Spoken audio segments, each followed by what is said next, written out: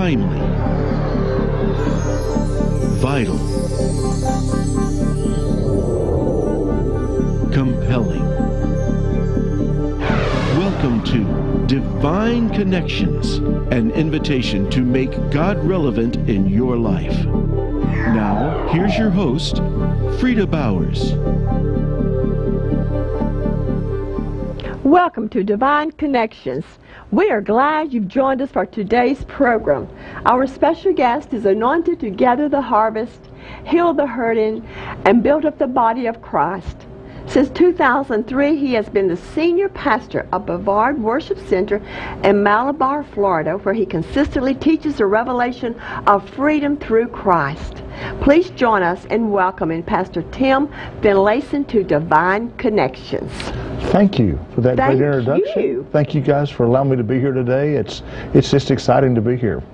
It is wonderful having you. We've heard so many good things about your church. And matter of fact, uh, why don't you go ahead, welcome Miss Linda. I'll get Thank back you. to Miss Linda in just a moment. Thank why you. don't you go ahead and just share with us about your church? All right, we are located at 6825 Babcock Street in Malabar, Florida. Our Sunday morning service is at 10 o'clock, and our Wednesday night Bible study is at 7. And we'd like to invite you to come out and be a part of those services. We are. um we just preach the Word of God, allow the Holy Spirit to move and minister, and we're in the middle of revival, and we'd like for you guys to come out and join us and, and uh, help us to build up the kingdom of God in East Central Florida. Amen. Amen. You know, it's always wonderful to have a great church to go to. Yes. And then those to visit in the Central Florida area. You know, we like sharing these with you because so often I'll have people ask about different churches in the area. And we just want you to be aware of the things that God has for you. We know He has much for us, but did you know He has much for you? because it's for the whole body of Christ. Right. Amen and amen. Amen. Welcome, Miss Linda. Thank you. Thank Thanks you. for coming. And I like your outfit. Thank you. Black and white and white and black. It's Yeah. beautiful, though. It is Yeah. really nice. And thank you, thank you for coming, Pastor Tim. Yes. You know, I have been to your church. Yes, you have. I have been to your church, and I am of- an eyewitness, Frida, Yes. that this is a wonderful, thriving body of Christ. It is a wonderful, thriving body of Christ. You have a wonderful congregation. Not only are they very loving, but they are also just very attentive to the Word. That's one thing I watch when I travel and minister chur- at churches. I see if the people are paying attention. Yes. I do. You know? Yes. That is That's- that- important. it is one of my yeah. That's the you reason know, you go, really. It is. It is. and and your people are very, very, very Oh. open to the word of the Lord, and they listen and they pay attention, and that was really very impressive to me. Well, very what a high compliment. I appreciate that very much. I love my church. Yes. We got some great people there. And, Yes. and God has enabled us to just build some great things for the kingdom of God, and we're excited about it. And you're in a building project. We are in a building project, signed some major papers yesterday, You wrote some major checks yesterday. Yeah, that's part of the deal. And uh, Yeah. so it is happening, and just in a few months we'll be in our brand new building Wow. and finally have a building that matches our message. How wonderful. And we're excited about that. Yeah, you are a little hard to find because you're sort of tucked away Yes, back in the back, and you're gonna on the same piece of property. You're just moving to the street. Is that sort of- Exactly. We'll be right in the same place, but you'll be able to see us from the road and Right. things like that. Right now, you got to look for a sign. Yes. And the Bible says a wicked and perverse generation looks for a sign, but you still have to look for a sign to find us. and we're back there, and uh, and when you step into the building, the Holy Spirit just uh, is doing some amazing things in people's lives. And thank you for giving people the opportunity and, and to know that they're we're here. You're there. Appreciate that. You're definitely there and doing a thriving work. I appreciate that so Yes. much. You're very kind. Amen, amen. Speaking of the Holy Spirit, that's who we're going to talk about oh, today. Oh, yes. And you know, it's amazing. When you start talking about him, he just shows up. Matter of Yes, fact, he's he- already here. Yes, he is. because we have already been talking about him on this set, getting ready, just anticipating greatness. If you'd like to turn in your Bible to Acts chapter 1, verses 4 and 5, and read with us. And also, I want to encourage you, if you want to get a pen and pad, paper, I- I should say, just uh, get one right now. We'll give you a couple of seconds so you can make notes. You know, this, in addition to being a program, it, there's also quite a bit of teaching that's done during the times that we are on this set. And you know, when I sit down to listen, because I have some of my favorites on television, Pastor, I like to always take a pad and a pen Me too. and make notes you know, to review and to and to read over and to really engage in what God is saying to me. Amen. And that's what we want to encourage you to do also, okay?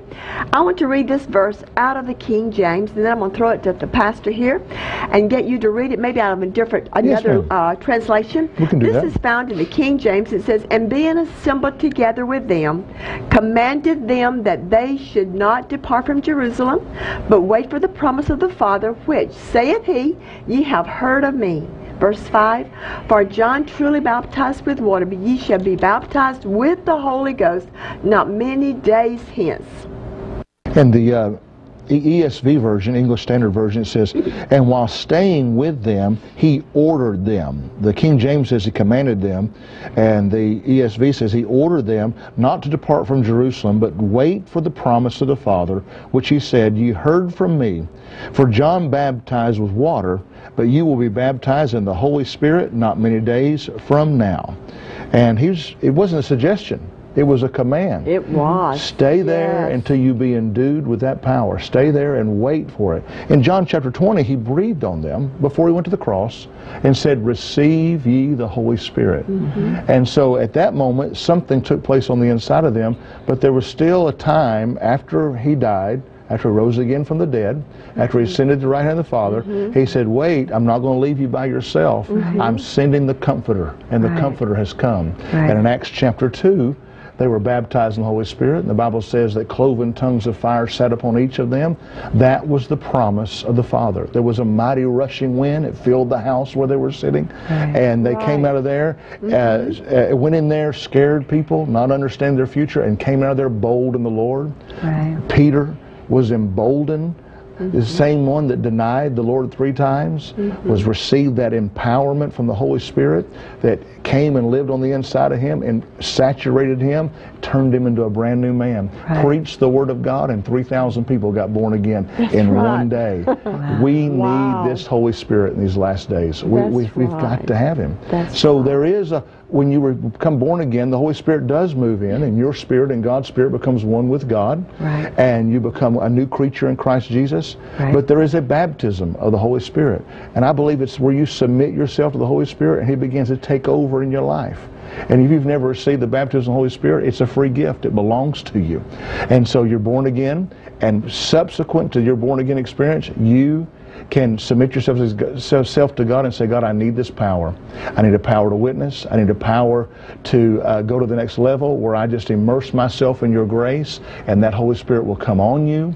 He'll overtake you as you give Him control of your life. And one of the evidences of the baptism of the Holy Spirit is the ability to pray in a language where you're praying the perfect will of God. In Romans 8 26, it says, Likewise, the Spirit also helps our infirmities.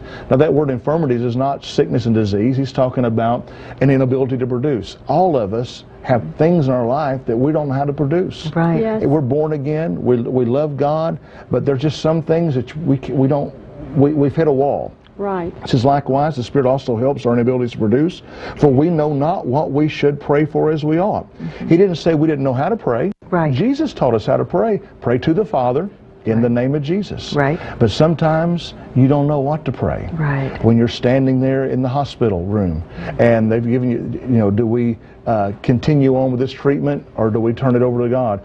Uh, I, I, I don't know where my children are right now. I don't even know how to pray for them. The Holy Spirit Yes. shows us how to do that. Let me finish reading this. Yes. For we, for we do not wish, know what to pray for as we ought, but the Spirit itself maketh intercession for us with groanings which cannot be uttered. And he that searcheth the hearts knoweth what is the mind of the Spirit, because he maketh intercession for the saints according to the will of God. And verse 28 is one of the most quoted scriptures, mm-hmm. but sometimes it's quoted kind of out of this setting. Mm-hmm. It says, And we know that all things work together for good to them that love God and to them that are called according to his purpose. And I've kind of heard it like this well, you never, never know what God's going to do, you never know what's Oh, going to happen. no. But we know this all things are going to work together for the good of them of the Lord. The devil's banging your brains out on the sidewalk of life, but somehow or another, God's going to get glory for this. That's not what this scripture Not is at saying. all. No. He's saying No. that when we pray in the Holy Spirit, Yes.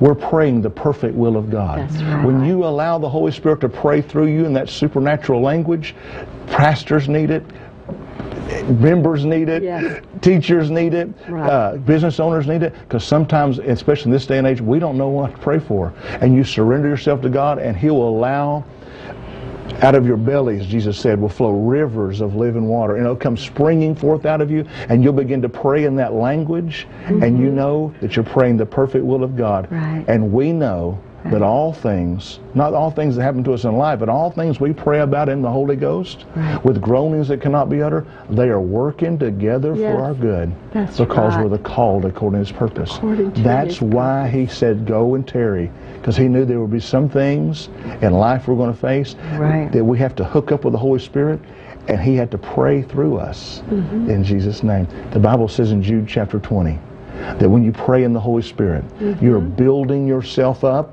in your most holy faith. Right. I love that. Right. Now, see, faith comes by hearing, Mm-hmm. and hearing by the Word of God. Right. And I believe that when you read the Logos, the written Word of God, faith comes.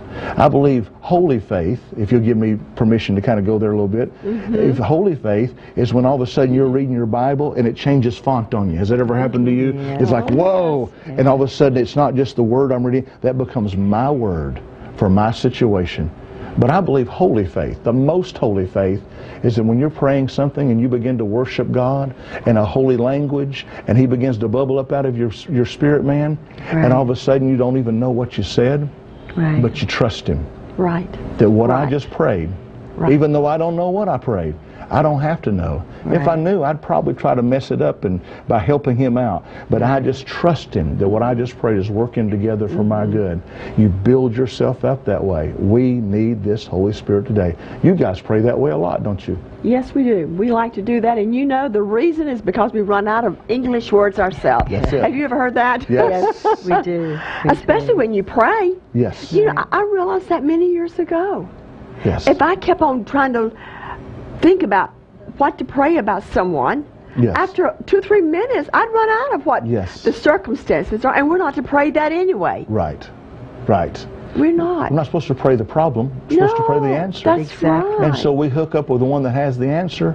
He prays through us. through us. He bypasses our brain that's, That's right. bombarded with doubt and fear and unbelief and goes right to our spirit where that most holy faith is, Mm-hmm. and we love Him enough just to trust Him. The Bible says that we have not because we ask not. Right. Yes. In Ephesians 3:20 he says, "Now God is able to do exceedingly abundantly above all Yes. that we ask or think." Ask Well, or think. If we have not because we ask not, what good does it do to have a God that's able to do exceedingly abundantly before we can ask or think? Yeah, because if I it? can't ask that, I can't have it.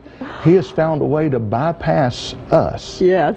and to get us to ask for things that's beyond what I can ask, it's beyond what I can think. And that's why when things begin to show up, because He is a good God, He's a merciful God, and things begin to show up in your life that, where did this come from? It's probably when you spent some time or somebody spent time praying for you mm-hmm. the perfect will of God in the Holy Spirit in another language that only comes from God. Give him something to work with today and let him pray through you today. In mm-hmm. Jesus' name. It works. Amen. Amen. Amen. You know what? We did not have this schedule, but I am going to ask you, if you don't mind, Pastor, Okay. lead the people, those who are, are, are searching for this gift. Yes. Can you do that? I would love to do that. Thank Yes. you for that honor. Yes.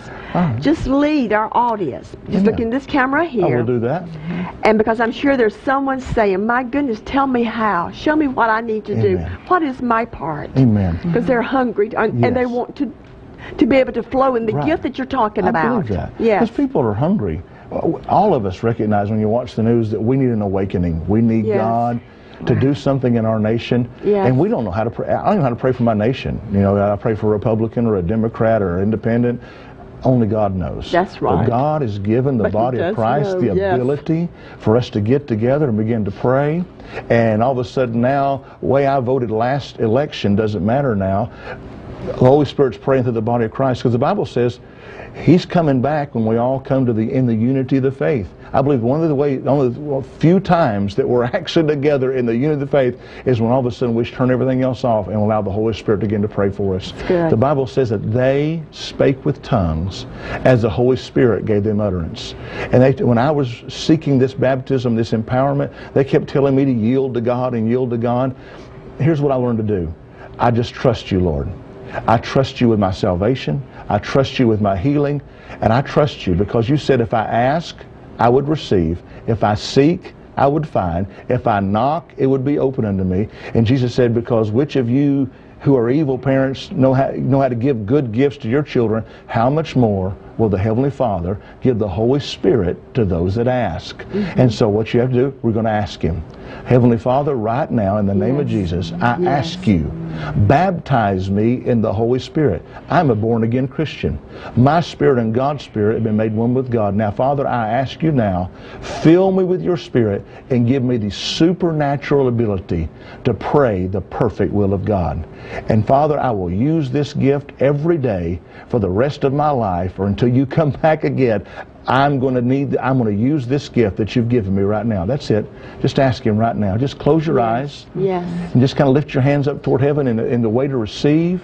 And just ask Him, Father, fill me now yes. with the baptism of the Holy Spirit. Yes. Now let me pray for you. Father, you said, Father, that Paul would lay hands on them and they received. I can't lay hands on them, but I say now, be filled with the Holy Spirit. Did you pray that?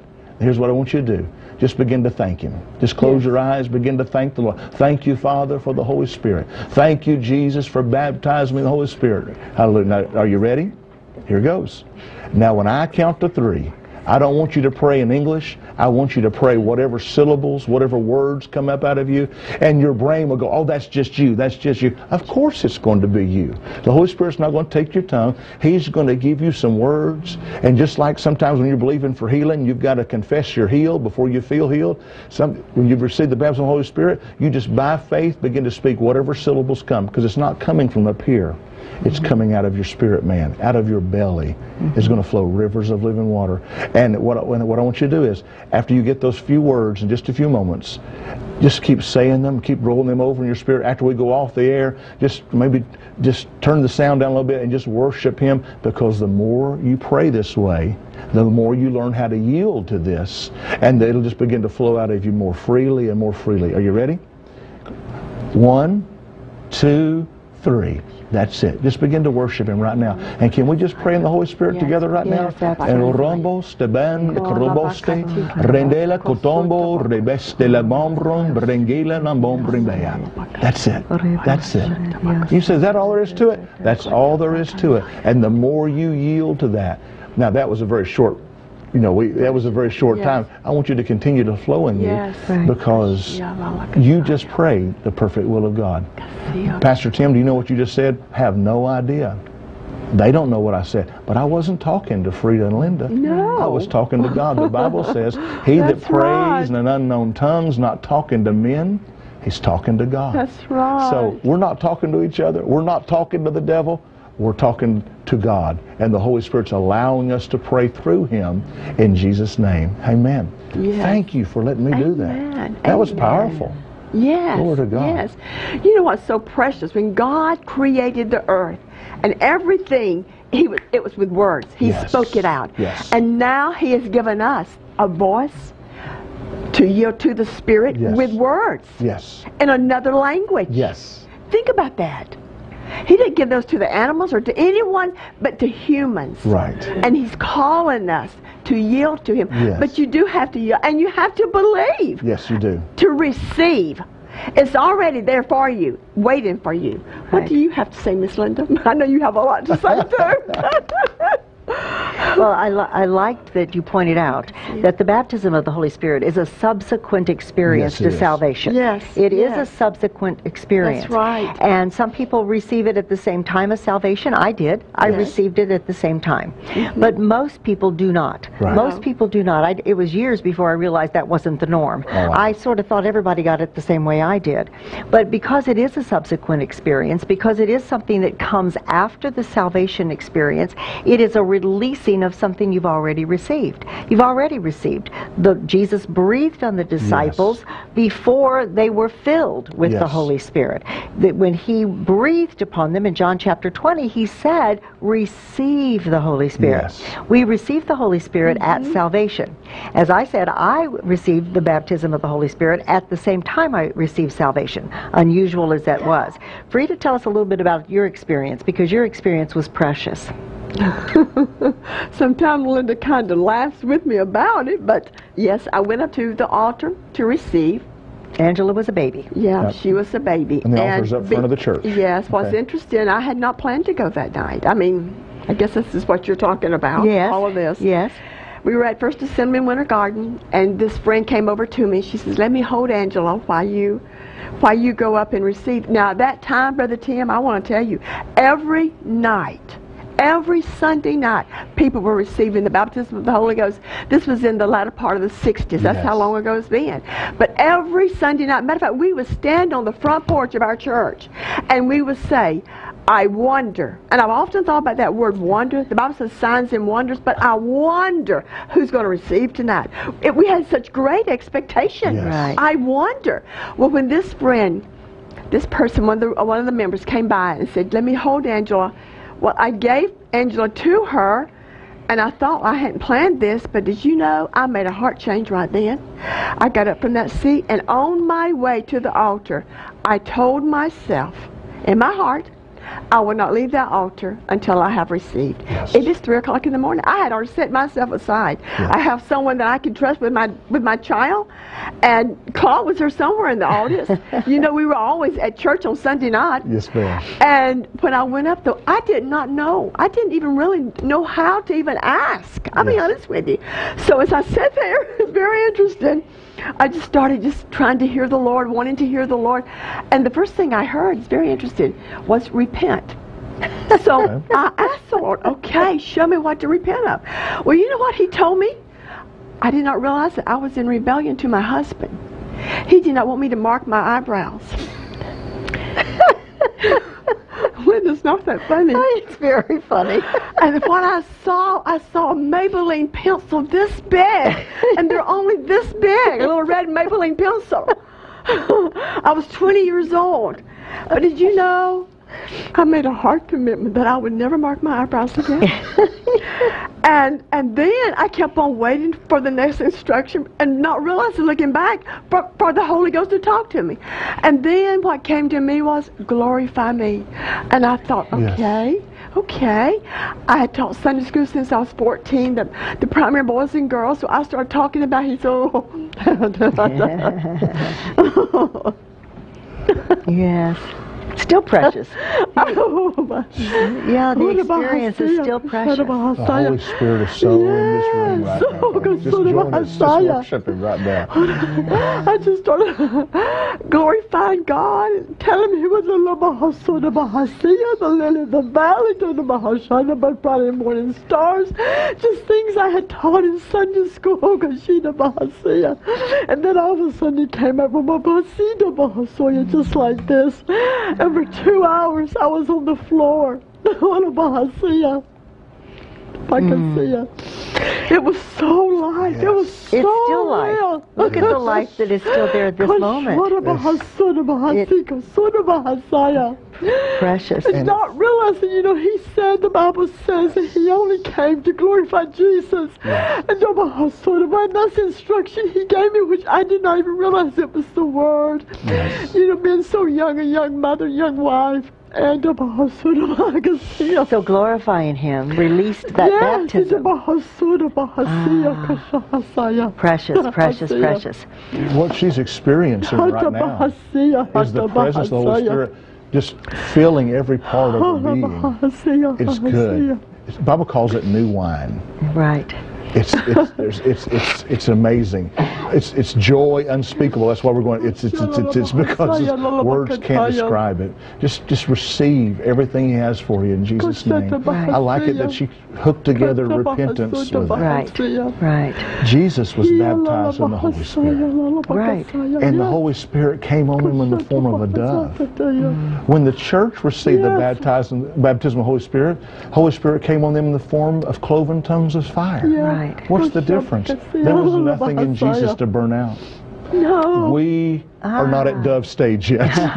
There's, he's still burning in Oh, us. He's still working in us. And Holy Spirit loves, and God loves us just like we Yes. are. Right. But He loves us enough not to keep us like we are. That's right. And so the fire of Oh, God, la as you begin to surrender yourself and begin to pray in the Holy Spirit, it's so real in this room right now. It begins to burn out, it begins to show you areas of your life that you don't even like about yourself anyway. The things, and, and begins to give you the ability to go to the next place in God because you're hungry for God, you're thirsty for God. And all I can say for you is receive the Holy Spirit. Yes. Right. I'm going to go back to the scripture that Linda Yes. uh, uh, shared with us, that or, uh, Miss uh, Frida did. Jesus commanded them. Yes. Jesus ordered them. Yes. Wh- What, are you going? What are you going to do with that? Yes. It's not like, well, that's our church doesn't do that. That's just like a Frida Bowers Pentecostal thing. Jesus commanded them to go and be filled and endued with the baptism of the Holy Spirit and fire. Say yes. Yes. to Him right now Yes. because it began a, a journey Yes. and it began Yes. something in you. Yes. How would you have raised Angela without that? I don't know. How would you, what would we have done all the times that you face? And when you don't know what to pray about the television station. Oh. Rabostiki labom rabostim rondana. Hallelujah. What's happening? I don't know. But the old timers called it praying Through. through. Yeah. praying through to what? Praying through until a knowing comes. Yeah. Everything Yes. going to be all right. Yes. But I knew before I before I went home that he was going home with me with the evidence of tongues. I just knew that. Yes. Uh, you know, and I, I appreciate Janie Thurman. They live in uh, Tallahassee now. They were teachers. I thought, God, you were the one that had her to come and offered to take Angela. Yes. I don't know why, for some reason, I never did go up to the altar. Everybody else was receiving, and we always were expecting someone. Right. But you know what? That was my night. Sure. And you know why it was my night? I chose it to be my night. and today can be your time. Right. It is your time. Yes. Right. And I want to tell you, He is the teacher of the church. Yes. And He will pray through you. There's only really two people that pray. Let me just tell you that. Lynne Hammond taught us that. Who is Jesus Christ and the Holy Ghost. Yes. The only thing is the Holy Ghost needs a body. Jesus had His body. When He came, He came into the form of a baby born by Mary. Mm-hmm. But you know what? The Holy Ghost needs that temple. The temple of God. The temple, He is the temple of the Holy Spirit. And He needs you to pray through you. He will not just come out and bark on the wood and do something Right. else. Right. He needs us. Yes. And we have a mission. Let me tell you that. You have a mission. And I want to also say something. If you get upset at this, do not write me because I will not answer it. If for some reason you're under a pastor that's not spirit filled, pray, ask God what to do concerning him being spirit filled. If he's opposed to that, I encourage you to move. Uh, You may say, Frida, how can you say that? I want to say that the gift of the Spirit of the living God is for you, and you're stunting your growth. Did you know that? Are you going to keep growing in God? You have to be under that headship, because as the head goes, so goes the body. and our headship, I will never forget, Sister Bruce, brother and sister Bruce. She was a woman of God, lived to 97. They came from uh, on the other side of Tampa to pastor our church, and she preached that night. She preached on Sunday nights. He preached on Sunday mornings. Powerful woman of God, and she was she was the one who had really just uh, watered all of that. Yes. Just powerful. Well, I want to say thank you. I did not realize our time was already up. Thank you, Pastor, for Oh, coming. This was awesome. Thank you, Thank Pastor, you for, for coming. And Holy Yeah. Spirit, we're so Yes, grateful. thank that, you, Holy Spirit, for coming. Oh, you're you're what we want to talk about. Yes. It's all about the Holy Ghost. It's all about Jesus. Linda, thank you. Thank the Lord. Love you. Thank Love you, you. Jesus. And I want to say thank you. I do want you to write me and let me know that you received Yes. His gift for you. Right. Okay? Thank you. God bless you. We'll see you next time. Amen. You've been watching Divine Connections with your host, Frida Bowers. To get more information about the program or its airtime schedule, go to superchannel.com. Write to Frida with your personal note or to enclose a financial gift to the Super Channel. Write to Post Office Box 608040, Orlando, Florida 32860. Join us next time for Divine Connections with Frida Bowers.